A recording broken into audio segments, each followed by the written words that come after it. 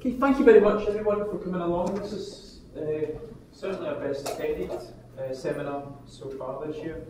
Uh, and as you may be aware, uh, the 3CL lunchtime seminar series uh, for the first time this year has been very kindly sponsored by Travers Smith.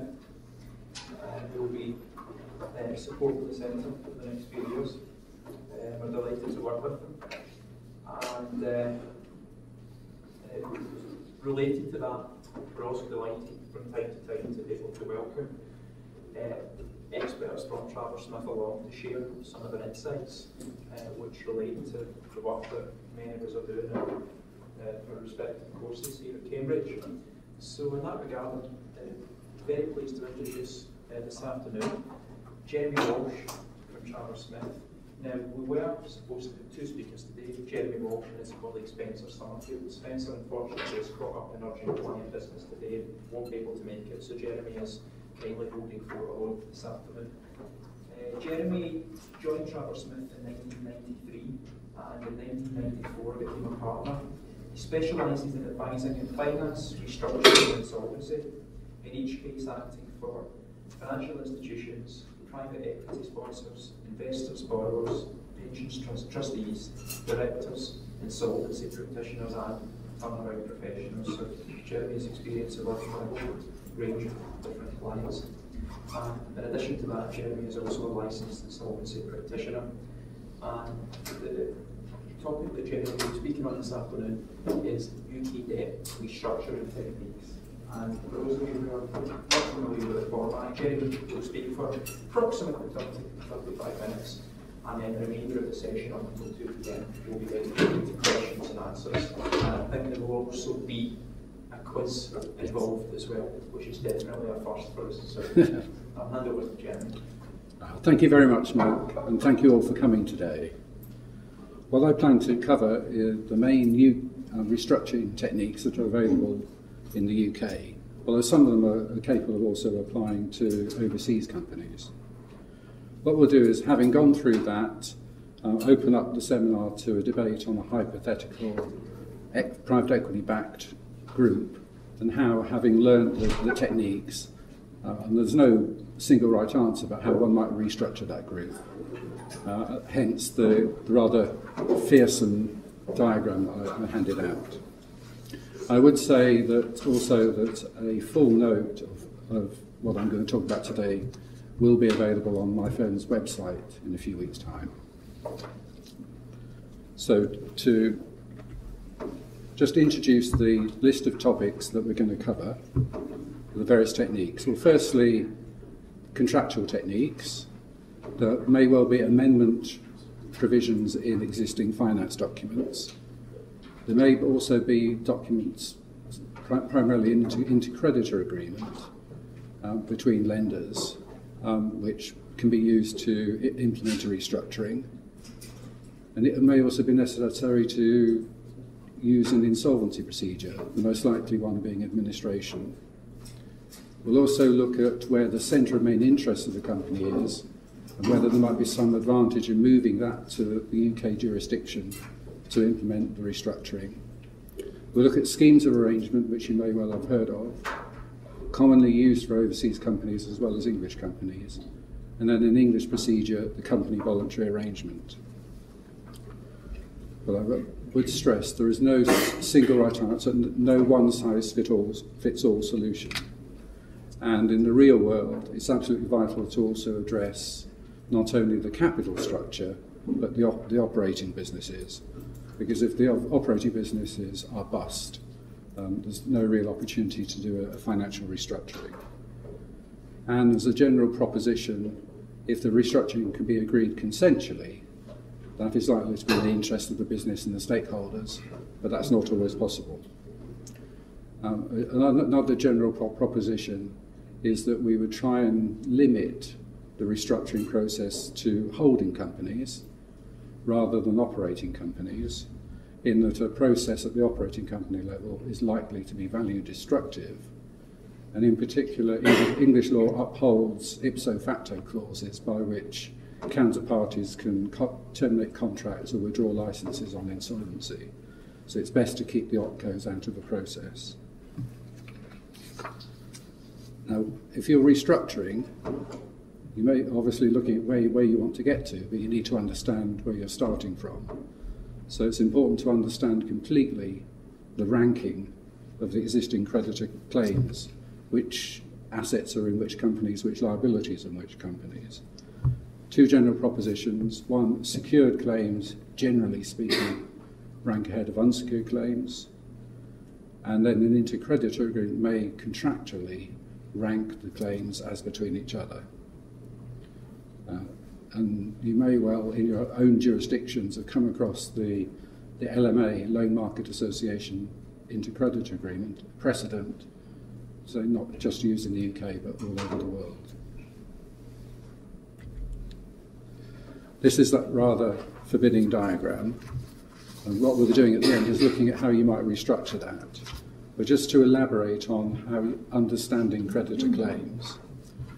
On, on the diagram, you'll see that target subs 2, 3, and 4 are operating companies. They've got lease and operating creditors. And they, hold, they hold operating assets. Uh, but notice also that they've given upstream guarantees and security to the senior and junior lenders. Parent, Bidco, Target, and Sub 1 are hold holdcos. So they too have given guarantees and security to the senior and the junior. They've also, Bidco has also got liabilities under swaps to hedge counterparties. The parent and its subsidiaries, you'll see that they've also made unsecured intergroup loans. Um, so therefore, they're ranked behind the senior and the mezz on insolvency. Holdco and Topco at the top, they've got no liabilities in, in this structure, which is fairly conventional. No liabilities to the, the senior or the mezz. Therefore, but you'll see that they are being holdcos, they're what we call structurally subordinated to the claims of the creditors against the operating companies. Because only if those lower, lower down claims are satisfied in full would there be any surplus which could ever get up to the topcos. And under the intercreditor, that you'll see that in terms of where the claims lie, the senior and the mezz are in the same companies. Um, therefore, there's no structural subordination.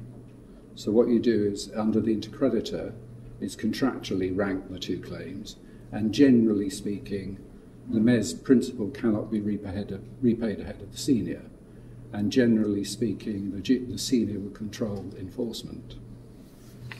So bear that in mind for when we come to the, the quiz at the end. But it's absolutely vital on when you're doing a restructuring to know exactly what you're, where you're starting from.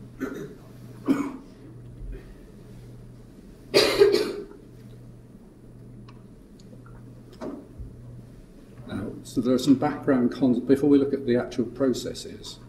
Some background concepts to have in mind when you're doing a restructuring. The key one is where does the value break? So if you take our group, and if that if the group were to be sold or liquidated, how, how much of the proceeds will be available to satisfy creditor claims? So to take an example, say the, the value of the assets is 100 million sterling, but the, the extent of the senior debt is 200 million, we would say that the value breaks in the senior. If there were an extra 100 million of mezz debt and the value of the assets were 250 million, the value would break in the mezz.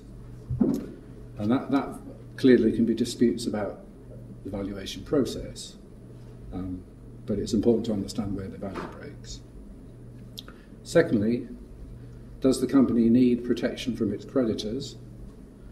Um, of the procedures I'm going to talk about, only administration gives an, a moratorium against creditor action, well, other than company voluntary arrangements for very small companies. But any process, as I say, is like if it's done prematurely or in a free fall manner, is likely to be value destructive. So it may just have to be accepted that trade creditors continue to be paid during the restructuring process in order to avoid a precipitate insolvency.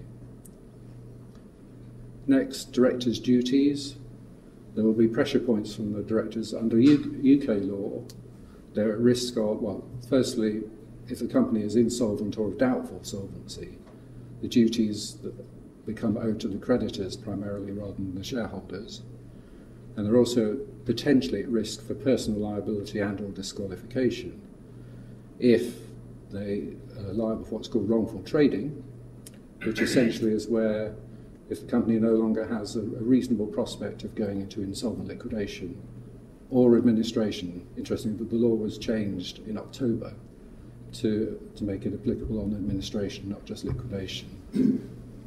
then, after that point of no return, they have a duty to take every step to minimise the potential loss to the creditors. If they don't, they're personally at risk. Generally speaking, those situations are manageable with professional advice, um, but it can lead to pressure points during the, restructuring. It also means if a creditor is too aggressive, you can actually push the make life too difficult for the directors and prejudice a restructuring. Equally, sometimes the directors are just in denial, uh, uh, and a shot across the bows can, can be quite valuable. You also need to be very careful during a restructuring to make sure that your transactions are unlikely to be set aside as being an undervalue or a, or a preference. And again, only administration provides an automatic insulation against that risk. On any modern restructuring, a common feature will be trading of debt uh on all levels of, across the capital structure. And that can be a good thing in the sense that it can provide an exit for an unwilling lender. It can be quite dangerous if you've got somebody described as a holdout creditor who is there just to take a blocking position in voting on a restructuring in return for um, it hopes uh, a financial advantage. There are extra pressures if the company's securities are listed. Two main points. Firstly, there's a duty to make, make regular announcements of material information which isn't available to the public. That can call, make it very difficult on a restructuring, in that if you basically have to give a running commentary and put all the dirty laundry into the public arena. It means that, for example, your best employees walk, they get scared and walk, um, and or your suppliers think they're not going to get paid, so they're going to demand cash on delivery. But you have to comply with the rules of the exchange. And the, the other impact of securities being listed is the insider dealing legislation applies, um, which is, can be a great concern to investors like hedge funds if they're buying into the debt. They actually don't want to have too much non-public information, or if they do, if, if they go restricted for a short period, they will insist that the company regularly cleanses that by announcements to the market. Again, I mean, it's a fact of life, but is a compl- complication. Last point, slightly techie point, but potentially important, that's COMI, or Centre of Main Interests. That if the company's um, centre of main interest is, is outside the UK, um, you may need or, or, wish to bring it to the UK um, to do the re- restructuring process. And it's a reasonably well, well worn path um, to start holding your board meetings in the UK uh, and your key creditor meetings much easier to do at the holdco level, relatively hard to do it at the, the operating level. Now, turning to the first mechanic, that's lender consent thresholds. The first thing you have to do is look at your existing finance agreements and look, look at what are the majorities in order to effect a change. If what you're doing is relatively minor, like changing the financial covenants under a traditional LMA um, bank loan facility, that's a two thirds majority. But if you want to do something more like extending maturity or reducing interest, that will generally be an all lender decision. If you're in the bond market, then the, the generally speaking, the threshold to initiate an acceleration is 25%. Enforcement and minor contractual changes 50.1%, and all remaining decisions 90%. So if, you extend, if you're extending maturity, um, there's a very high threshold. Sometimes you see an additional clause called what's called a structural adjustment clause, where provided you get the two-thirds majority overall and the consent of the lenders of the particular class that are affected, then that can go, go through without it being an all lender decision.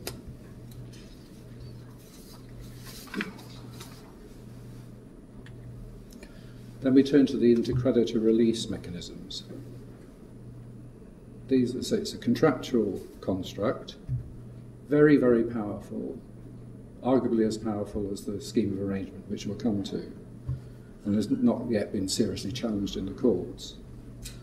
What it basically does is where there's a distressed disposal, i.e., essentially an enforcement scenario, then and there's the senior creditors, if they can inf- enforce their security by selling the shares, say, in Bidco, or an administrator doing that, so we have a dist- distressed disposal, then the security agent, which holds the security for the syndicate, has power to basically eliminate or transfer and eliminate the claims of the junior creditors.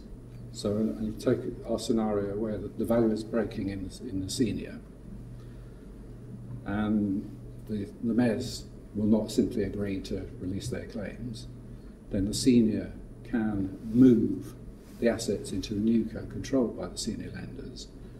Now, if the mezz, as we saw earlier, the operating companies have generally given guarantees and security for the junior debt, if that debt and security stays in place, they effectively have a veto. So what the intercreditor allows the security agent to do in a distressed disposal situation is, is to remove those guarantees and security. It has, I'm generalising slightly in that it's very, very important to check the precise wording of the intercreditor. I, I've largely been referring to the LMA standard, but that's open to all sorts of negotiation and drafting slips. So if, if you're dealing with this in practice, look very carefully at the drafting to make sure the release mechanics do what you think they're going to do. But under, under the standard, the security as the agent has the duty to get the fair price, and there are ways of proving that, which would include a sale through an administrator. So just just bear in mind that the, the release mechanisms intercreditor are very powerful.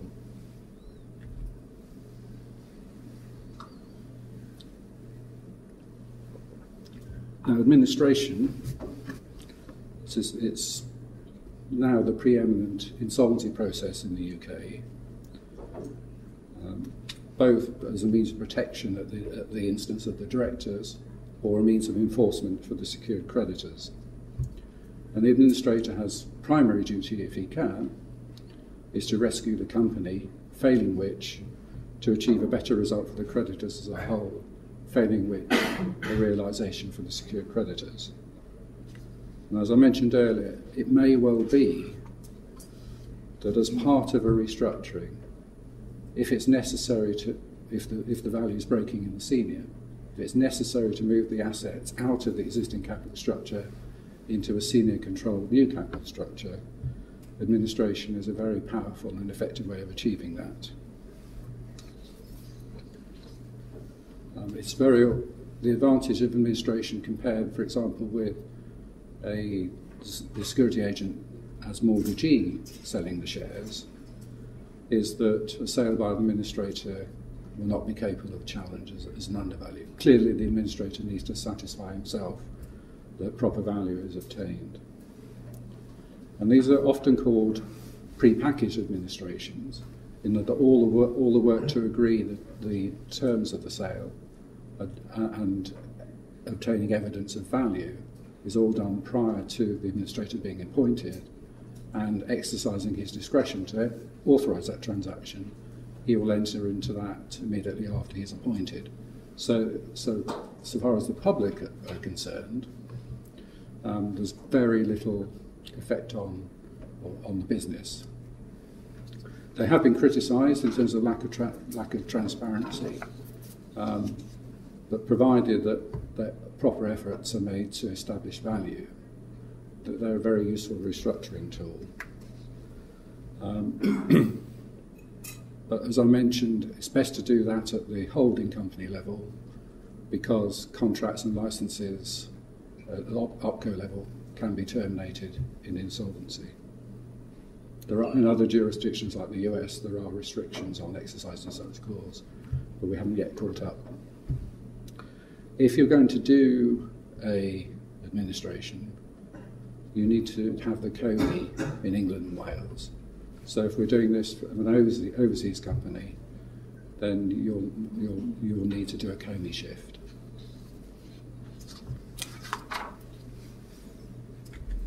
Now, schemes of arrangement.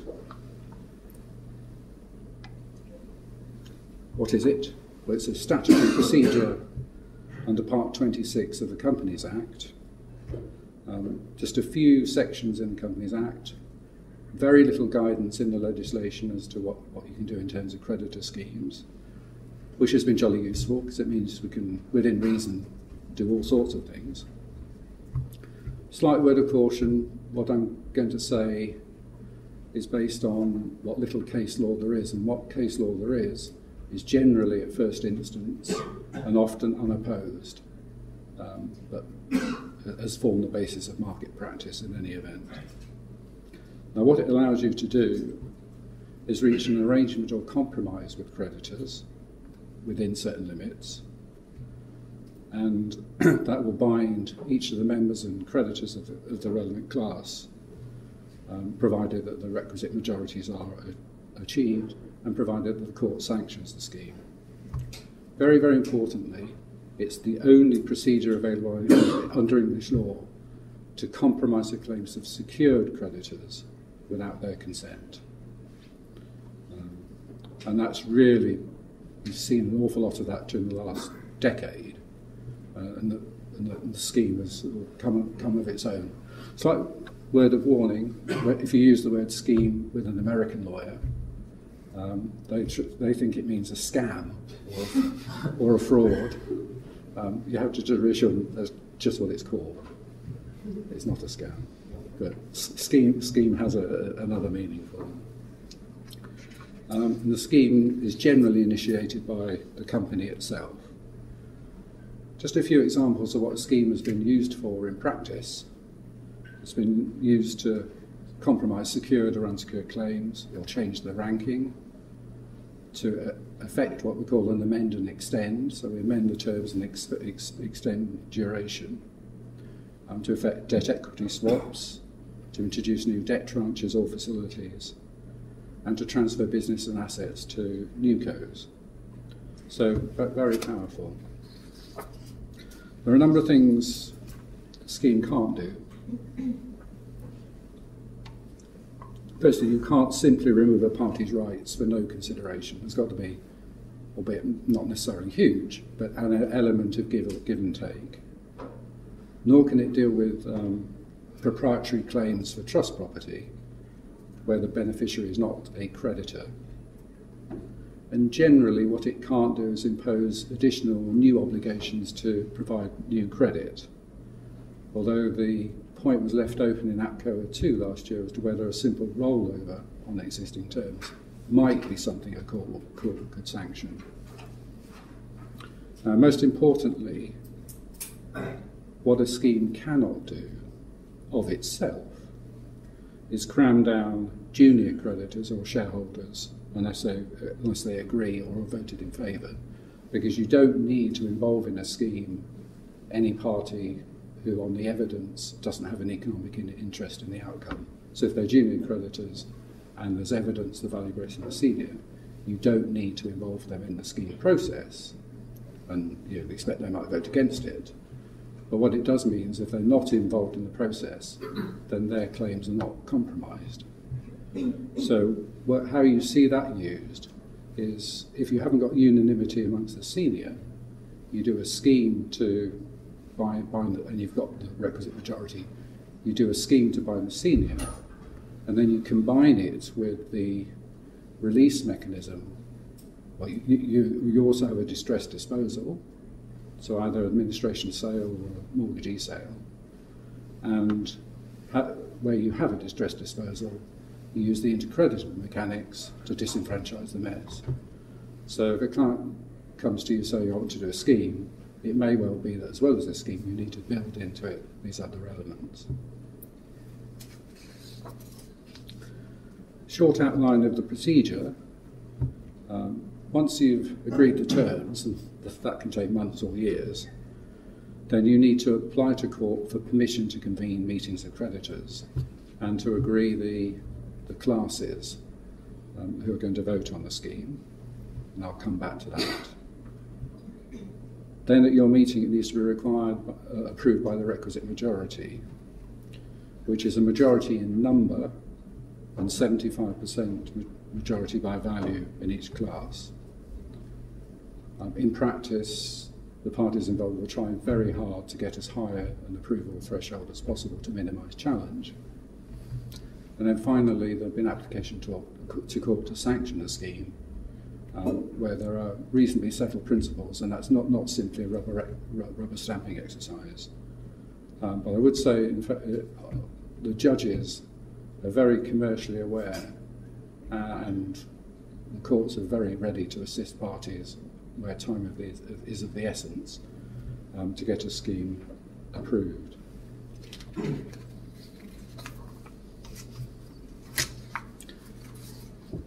Now, as regards the composition of classes, this is probably the, the key area, and there's no guidance of itself in the Companies Act on how the classes should be composed.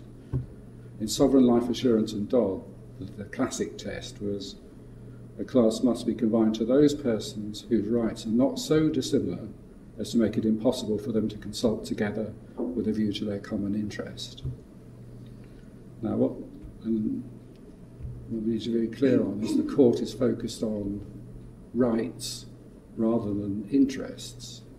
So you look at you know, the strict legal rights of creditors versus the company, now, if other if creditors have got a particular agenda, say they're connected with the shareholders, that shouldn't of itself um, mean they're in a separate class, although that can be argued.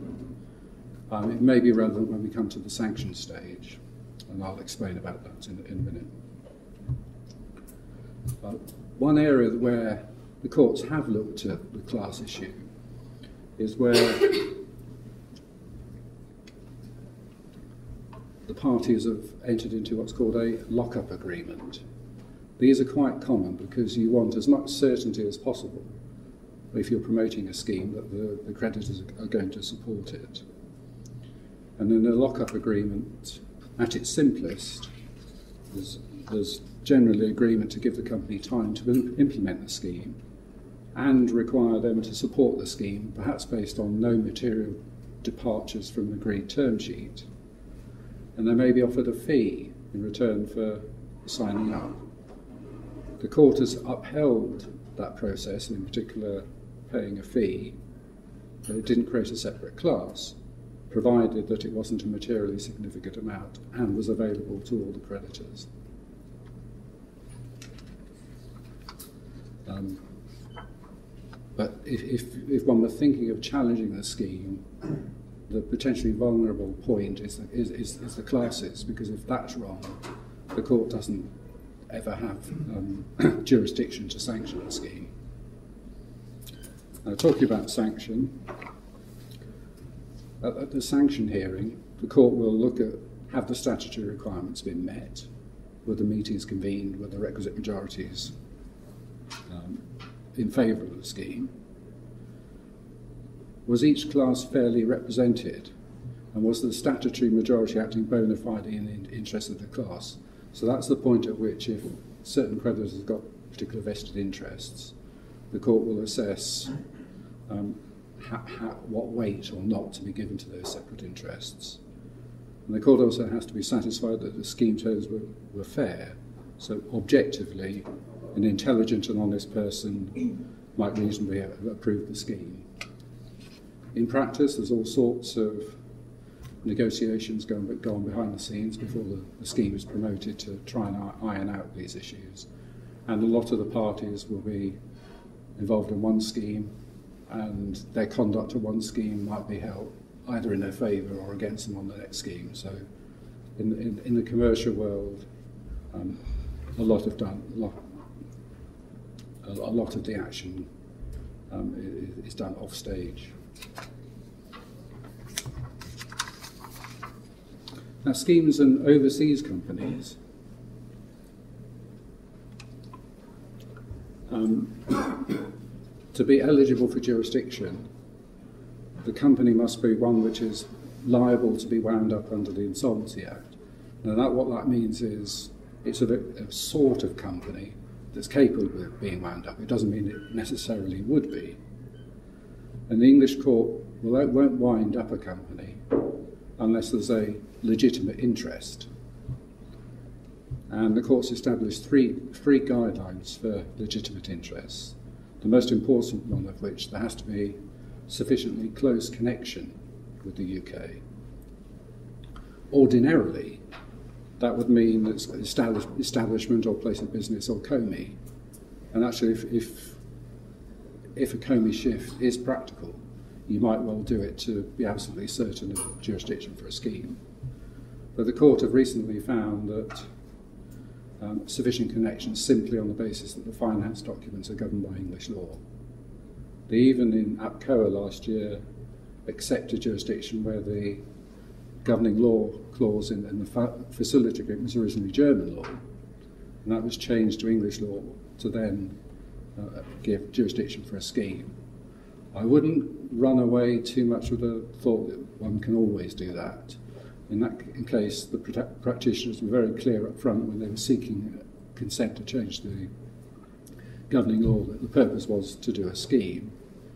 And it was a rather old facility agreement in that pre 2012, um, change of governing law was um, under the LMA standard a majority decision.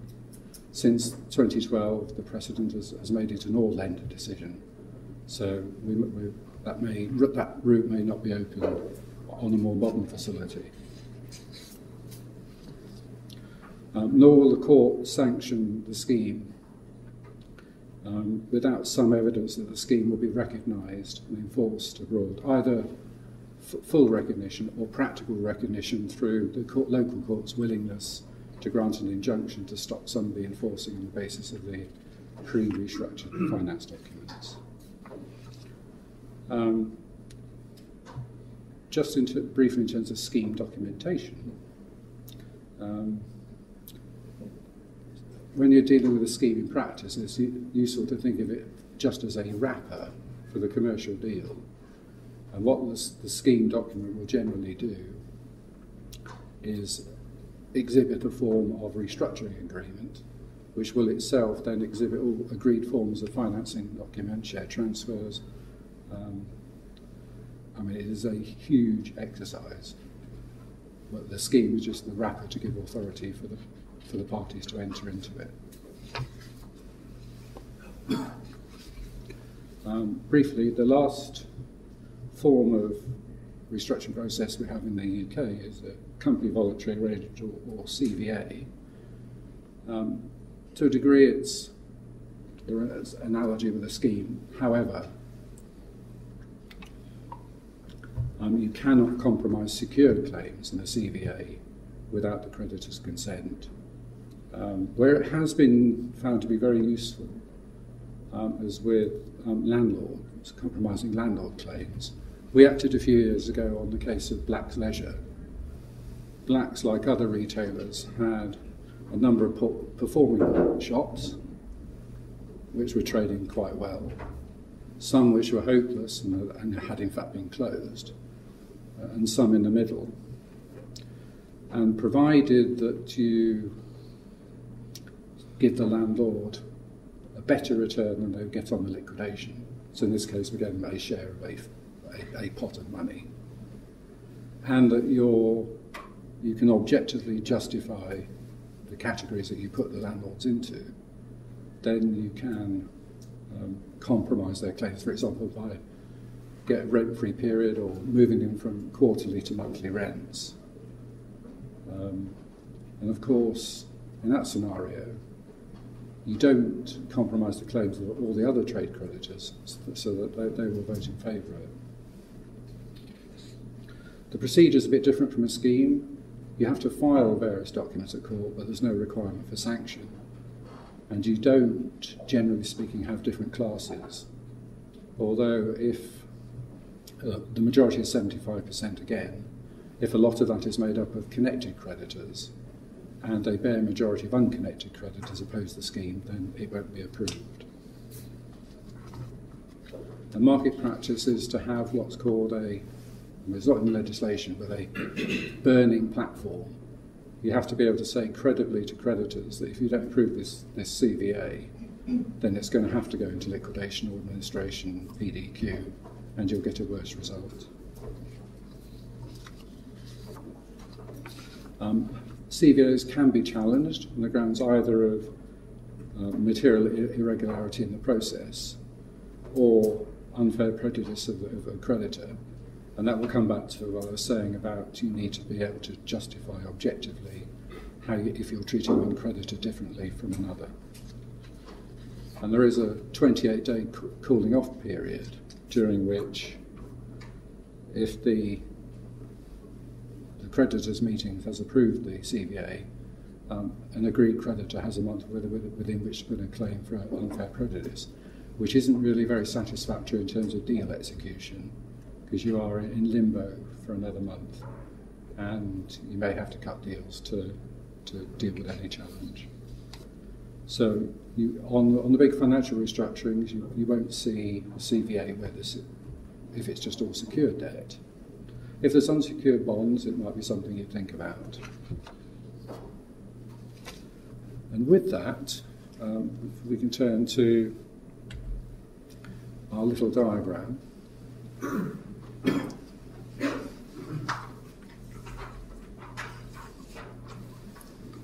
Which you won't be able to see on the screen. If we just think about first assumption, if the value breaks in the senior debt,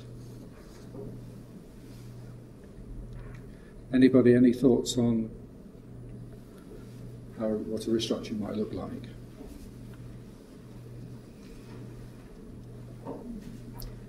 I would stress there's no single right answer.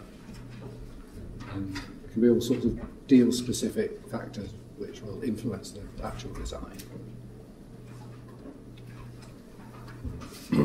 Jeremy, this is probably a really silly question, no. but uh, if, could, could, you just just briefly explain what val- uh, value breaks means? Yes, value break is where if you were to sell or liquidate the, the company or the group, the proceeds would be insufficient to pay all of the senior debt and wouldn't be, wouldn't be able to pay any of the junior debt.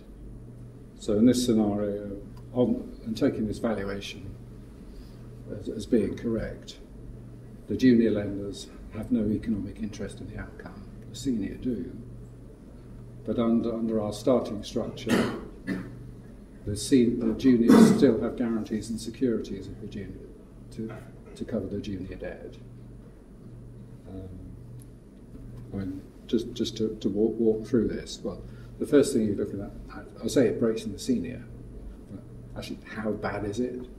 Because if, it, if it's seriously bad, then any amount of financial restructuring is un- unlikely to solve it. So you would probably put the whole group into administration, um, ideally pre-packaged, following a, a, limited marketing process to at least get as, as much back for the senior as you can. Um, but let, let's assume it's bad but not terminal. Then the senior will want to restructure and that might well be, for example, changing the terms of the, the, the, the performing senior debt and converting the, the balance into equity.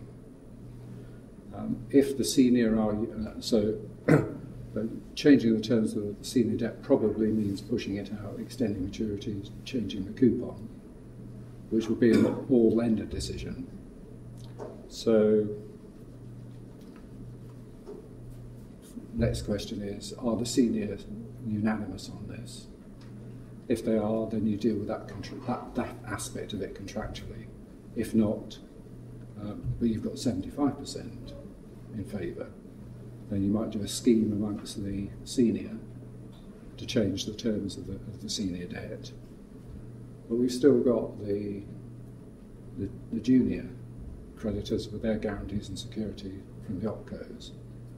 Um, first, we're going to ask them, will you either voluntarily offer a modest amount of money to save us the, the time and the effort? Will you agree to transfer your claims to us or, or relinquish them?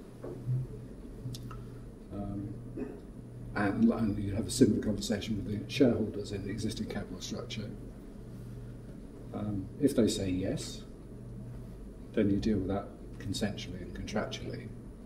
If they don't, you need a way to get rid of the, the junior guarantees and security, which would involve, and we know we can bring that about by having a distressed disposal, moving the existing hold holdco into a, a senior controlled holdco, um, either through administ- pre-pack administration or and or you or a mortgagee sale of the shares. Um, and provided you've got fair value, the security agent will be authorised to release those the mezz debt guarantees and security.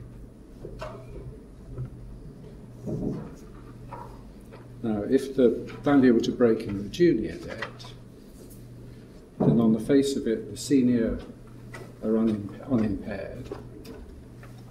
Um, and the, most of the restructuring ought to take place at the junior creditor level. Um, commercial questions would arise well, are the junior willing to buy out the senior? Maybe a simpler solution. If the juniors want to promote their own restructuring, is that unanimous amongst the junior? If yes, fine, do it contractually. If not, and you've got 75% of the junior on side, you could scheme amongst the junior creditors. You've probably got to also restructure the senior because if the business has been performing well but not well enough, um, there may need to be to push out the maturity of the senior. And again, if that's not unanimous amongst the senior, then it may be that debt trading makes it become unanimous. Um, you would perhaps do a scheme amongst the, the, the senior as well. To, so you have a senior scheme to restructure the senior and a more drastic scheme amongst the junior, again to push out the maturity and or do a, a debt equity swap. Can I just ask a quick question? Mm. If you've got a appropriate intercreditor release provision in place, mm-hmm. would that completely preclude all these issues you spoke about if the value breaks in the junior debt? Or, I mean, it's a situation you're talking about, a situation where there's no there's prior provision for intercreditor release. Or, or there's no need to, to do a distressed disposal. Yeah. May I ask a question as regards opposing shareholders? Um, is the ultimate threat um, as regards those shareholders that they don't have a say in administration to be pushed out, or are there any other mechanisms beyond administration? Um, you're, I think you're right. Um, generally, uh, it's a weakness of the UK system. There is no automatic way of, of dealing with the, the shareholders who want to stay within the existing capital structure. I think in other jurisdictions, I mean, including Germany, there are ways of of, de- of dealing with that. So basically, you have to threaten the shareholders. We, we will move the asset. You're at the top. You're structurally subordinated. We will move the assets into a newco controlled by the creditors. and some shareholders just, as a matter of principle, will will say, go ahead and, and do that. Others I've seen cut a deal where for a modest amount of money, which is less than the cost of doing a scheme and an administration, um, for a quiet life, there's a commercial deal to be done.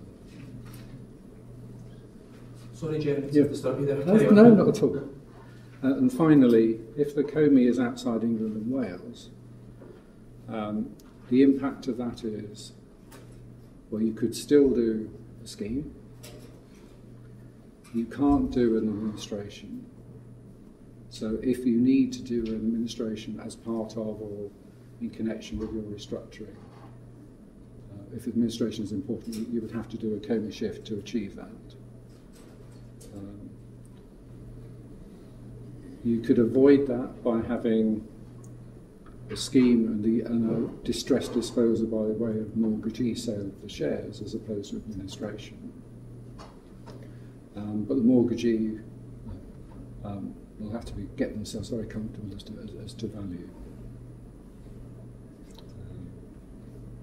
Um, I'd say uh, in, to do your scheme, you still have to establish sufficient connection with English law.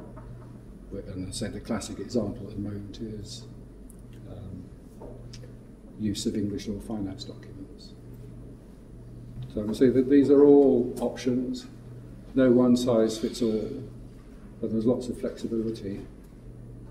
And in practice, you would, if you you would always try and do a consensual contractual restructuring, but you need to be ready to do, by way of a contingency plan, your plan B, to be able to have a, which will work should the need arise, and showing plan B to the stakeholders may well be enough to get them to buy into plan A. So there's lots of the schemes that you see are not the sum, sum total of the restructurings. Uh, we've actually done a number of cases where we've done enough work on a would-be scheme and or administration and intercreditor release to be able to persuade the stakeholders to just do it contractually. Because uh, Plan B can make Plan A look quite attractive. Any more questions? Uh, uh, just on that last point, Yes. uh, uh, are there examples of forum shopping with COMI shifts?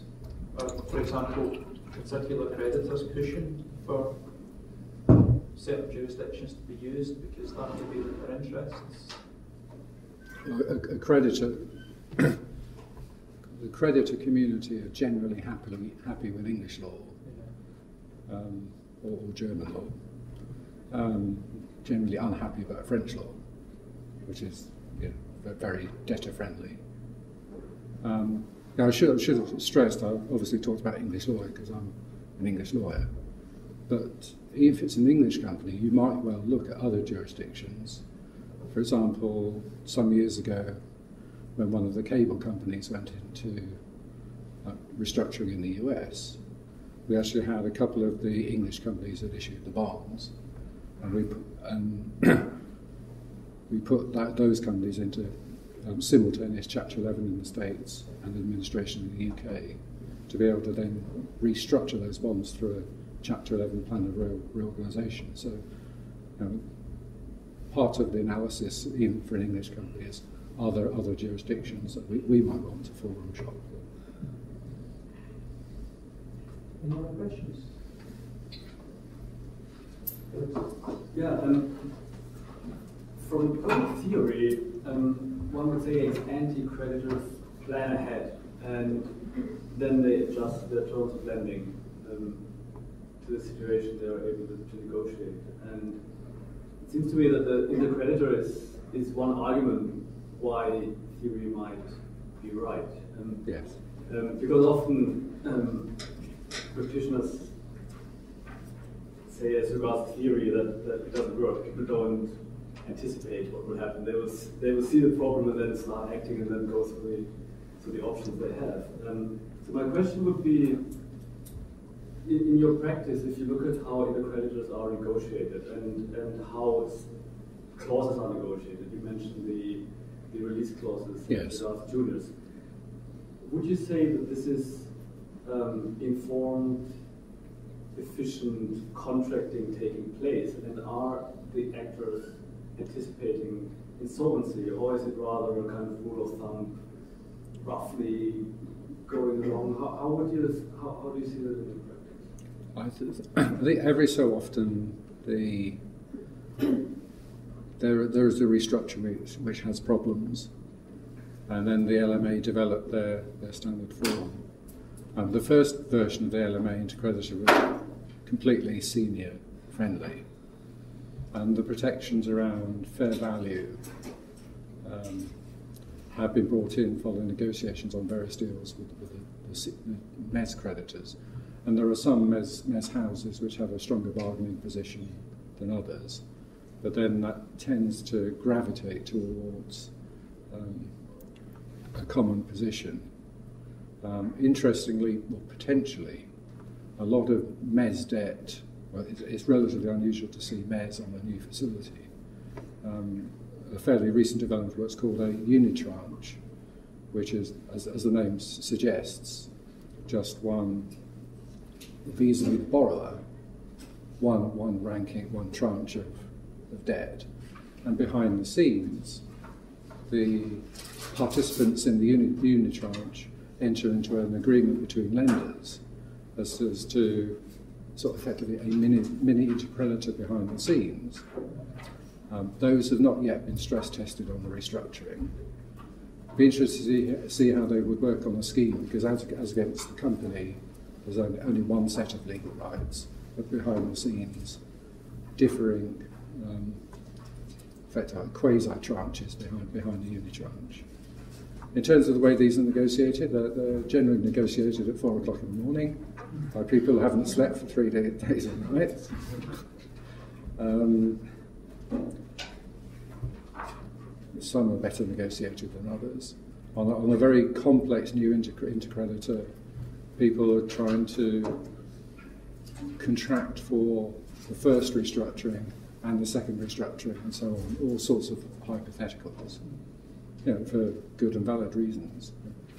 Clients are not particularly interested in it. Lawyers love it. But, you know, it's a very powerful document. Um, yeah, was just wondering, given what you said, under what circumstances would a scheme of arrangement maybe be preferred in practice to the administration procedure?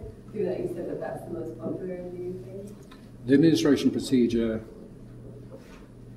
is still an insol- is, not, is an insolvency process. If you do it through a pre-pack, you can minimise some of the downside. Scheme is still thought of because the company doesn't have to be insolvent, um, and it's a Companies Act procedure. Um, I quite like administration. You, you, you, can actually achieve quite a lot with it, but it, it does have the stigma of an insolvency process.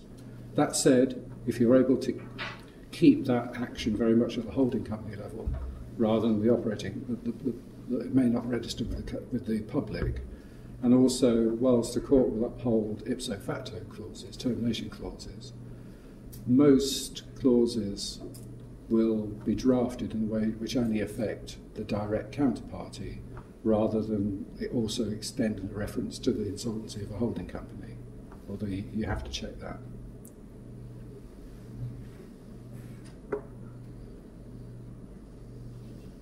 Just one question, just following on from what you said there. Yeah. I'd never thought about this before, but a scheme of arrangement in a distressed company, then that wouldn't that wouldn't normally be classed as a uh, as a credit event as such in the way that a liquidation or even an um, administration would. It, uh, it depends how it's drafted. For for many purposes, um, it would be drafted, although it's not an insolvency process to the public at large yeah.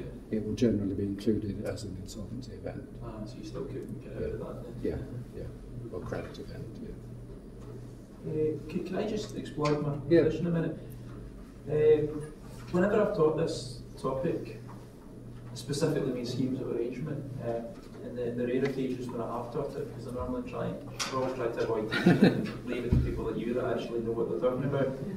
But um, I think when when you try and teach this topic academically, you, you naturally you pick up on case law, cases like, like you mentioned, sovereign life assurance and Dodd, Hellenic and General, which I hated doing, never really around that. Uh, and uh, the big issue, as it stands out, reading this topic in, in, the books and textbooks, seems to be the issue that you mentioned about defining classes. Yes. What constitutes a class, rights versus interests, these sorts of issues. Uh, and I wonder, but from what you've said in other parts of your talk today, uh, and this kind of goes back to Felix's question about efficient private ordering mechanisms. Uh, if you've got, uh, if you've got, for example, inter-creditor release provisions, or appropriate deals have been done otherwise between creditors behind the scenes, then would class definition ultimately really be a problem if all that groundwork had been done anyway? surely dissenting members of potential classes should have been silenced or otherwise taken care of beforehand. So I suppose my question is, if we get a sovereign life assurance and Dodd issue before a court, and there is this dispute about how have the classes been properly defined, is it simply because the solicitors involved just haven't done their job properly? Um, well, they, have done it, they've pushed it as far as possible. Um, and and the respective clients have not reached agreement. And say, um, APCOA 2, the judgment there is quite a, an interesting um, story of the battle between Centerbridge, who were described as a loan to own vulture, and FMS, who were des- described as a, a holdout creditor. and FMS actually should have done more at the um, convening stage. Um, basically came up with all sorts of arguments as to why they were in a separate class. Because they hadn't been involved in providing super priority funding, they weren't party to various agreements by their own volition. And the court was fairly robust with them. Um, the issue was um, held over until the sanction hearing. And the court was very much, well, it didn't like a holdout creditor um, and was quite willing to say that um, people having other interests within reason um, quite clearly didn't put them in a different class, but the court looked very carefully at the sanction hearing. And I think the court is cognizant of the fact that if the classes are, are not correct, then there's no jurisdiction to approve the scheme. And it's quite reluctant to give up that jurisdiction or to allow it to be exploited by allowing giving smaller creditors a veto if there's a proliferation of classes, and then to deal with it at the um, sanction hearing, and if necessary, making some doing a bit of tinkering to the final version of the scheme, as happened on APCOA to to to provide sanction. In, in, reality, is it difficult to distinguish between a minority creditor who happens to, to have a genuine claim to be a different class versus the situation of a minority creditor who's just plain awkward. Yes. Yeah. Is that, is that an easy distinction to make in practice? You, you, you tend to, for example, know a holdout, holdout creditor when you see one. Yeah. Any final brief question? One minute or so we've got remaining in that case. Well, just, just, to, just to leave you with this thought um, that I actually think debt restructuring is best, one of the best forms of legal practice a lawyer can do. But you should never forget the impact on the clients. Neil Gillis, who was the CEO of Blacks, where we did a CVA, uh, was quoted in the Telegraph as saying, it was the worst three months of my life. Which, given that he was also director of Fairback, it's quite something. I think that's a good note to bring us to a close. And uh, certainly, personally speaking, I've learned more about this topic in the last hour than I think I have in the last 10 years. So thanks to your credit, Jeremy, and thanks for your short appreciation for an extremely interesting presentation this afternoon. So thank you, Jeremy. Thank you.